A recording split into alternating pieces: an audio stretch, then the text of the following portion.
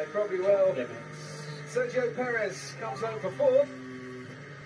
Get in there, Lewis. Awesome race, mate. What absolute fantastic race pace.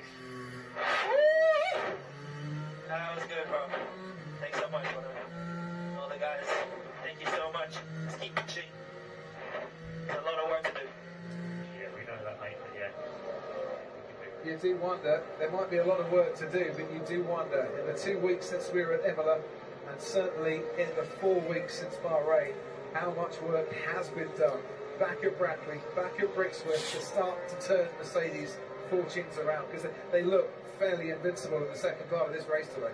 Yeah, for a work in progress project as much as